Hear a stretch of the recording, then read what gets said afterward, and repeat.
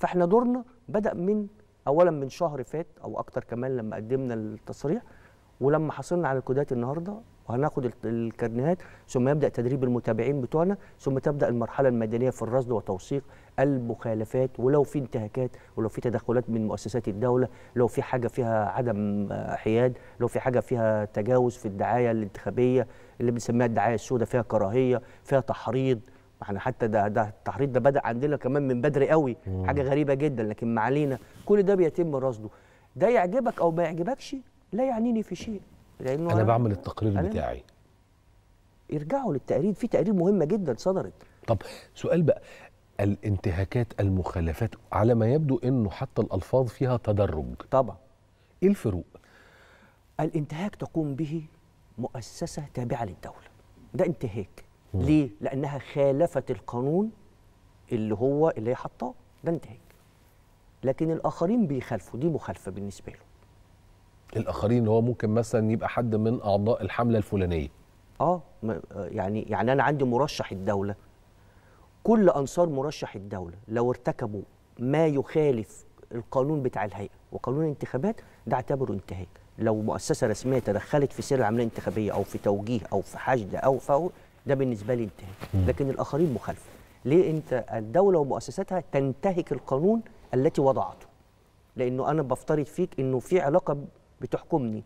القانون ده بيحكمني وبيحكمك وبيفصل بيني وبينك فالدولة مت مت لا يجب الدولة والمؤسسات ترتكب. فيما عدا ذلك هو مخالف. ده بالنسبة لنا مخالفه لما بتعملوا التقرير بتاعكم بيرفع لمين؟ اولا إحنا التقرير بتاعنا ليه هيكل. يعني ليه بنيويه كده ما بيبقاش عشوائي. انت بتعمل الإطار السياسي والتشريعي والسيا والاقتصادي والاجتماعي اللي- السياق الذي تجرى فيه الانتخابات مش بتخش في الانتخابات على طول. لأن ممكن السياق يبقى البيئة الانتخابية ممكن يبقى فيها مخالفات لقواعد ال- الانتخابات. ينتهي التقرير. أول حاجة لازم ترسله الهيئة الوطنية للانتخابات. انت واخد تصريح منه؟ الناس بتتعالى شايفة إن خلاص براحتكم بس أنا القانون بيحكمني أنا راجل بتاع قانون. برسله الهيئة الوطنية للانتخابات. ثم أرسله إلى مؤسسات الأمم المتحدة المعنية بالانتخابات في هيئات معنية. ثم الرأي العام المحلي والرأي العام الدولي لو أنت حابب. في ناس بتبقى عينيها على الرأي العام الدولي أكتر من المحلي. الله يسهل لهم كويس.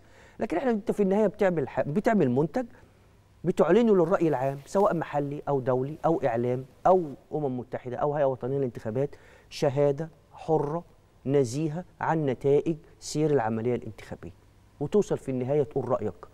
هل هذه الانتخابات التي أجريت خالفت ميثاق وقواعد الأمم المتحدة الخاصة بالانتخابات؟ ولا لا؟ في حاجات في حاجات طبعا مخالفات بتبقى بسيطة لكن في جوهر العملية الانتخابيه يعني تسويد ده ما أقدرش أعتبره حاجة بسيطة. ده يخل بإرادة الناخب لأنه غير طبعاً. الإرادة. طبعا. التسويد التزوير منع الناخبين من التصويت من قبل مؤسسة رسمية. لا يجوز ما ينفعش. برضو ده يعني أي تأثير مباشر على إرادة الناخب في تغيير إرادته أنا عاوز الأستاذ يوسف طلع أنا عاوز الأستاذ محمد يبقى ده ده يمس العملية الانتخابية. لكن في حاجات بتبقى في الدعاية في مكبرات صوت في حاجات في ال... يعني تعتبرها إنها لا تمس جوهر العملية الانتخابية. وبعدين دلوقتي يعني لا مؤسسة رسمية ولا مين يقدر قدام العالم في ظل القنوات اللي موجودة لايف 24 ساعة تقدر تعمل الشغل اللي كان بيتعمل زمان. مش زمان أنت ولا الهوى طبعا. مش كنت معانا زمان في في التدوير بطاقة دوارة ما إحنا حضرناها في فاكر يعني بطاقة دواره و و ومنع الناخبين وكرة بأكملها وكان بتحصل حاجات بقينا نسمع عنها في السنوات الأخيرة. لا طبعا. يعني مين يقدر يعمل ده دلوقتي؟ وبعدين هو في قاضي هات لي قاضي يقدر عن معاه صندوق فيه 300 400 صوت يلعب فيه بأي شكل من الأشكال. لصالح مين؟ ولا القاضي بيسمح لنفسه؟ بذلك أصلا؟ وليه أصلا؟ يعني لا سلوكه ولا نزاهته ولا وضعه تسمح بذلك. ليه الناس عندها إحساس دايما إنه العالم كله ضدنا وما فيش حاجة كو- ليه؟ لا بالعكس. لينا أحاديث كتير بقى عن الانتخابات والعملية الانتخابية. أنا مبسوط إن إحنا اتقابلنا عشان إحنا ما. بنتقابلش غير على فترات متباعدة. فأنا عايز أشكرك جدا جدا عفو. جدا جدا على وجودك معانا النهارده.